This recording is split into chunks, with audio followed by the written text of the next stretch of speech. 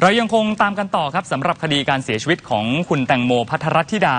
ล่าสุดผู้บัญชาการตำรวจแห่งชาติ ได้เรียกประชุมกับชุดสืบสวนสอบสวนคดีนี้นะครับหลังจากเจ้าหน้าที่ได้จำลองเหตุการณ์บนเรือสปีดโบ๊ทรวมถึงสอบปากคำพยานที่เกี่ยวข้องไปบางส่วนแล้วครับ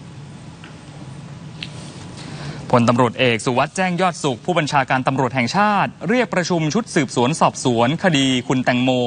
โดยพลตำรวจโทเจรพัฒน์ภูมิจิต ผู้บัญชาการตำรวจภูธรภาคหนึ่งเผยว่าได้เตรียมผลการชนสูตร และความคืบหน้าของคดีมารายงาน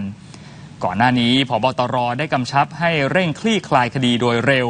และต้องให้ความเป็นธรรมกับทุกฝ่าย โดยได้จำลองเหตุการณ์ในช่วงเวลาที่เกิดเหตุไปแล้ว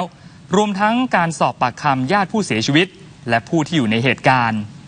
ส่วนจะมีการดำเนินคดีใครเพิ่มเติมหรือไม่ตอนนี้ยังอยู่ระหว่างการสอบสวน ส่วนที่สถานีตำรวจภูธรเมืองนนทบุรี พนักงานสอบสวนได้เรียกสอบพยานเพิ่มเติม โดยส่วนใหญ่เป็นพยานแวดล้อมในคดี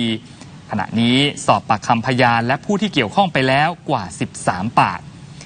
ขณะที่หมอของขวัญฟูจิตนิรันหรือว่าหมอเคสนะครับได้ออกมาโพสต์ผ่าน Facebook ว่าขออภัยทุกสื่อ โดยเฉพาะทีวีภูนะคะ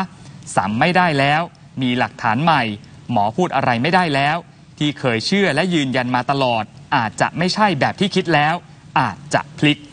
เดี๋ยวต้องรอติดตามกันต่อไปนะครับว่าเป็นเรื่องอะไร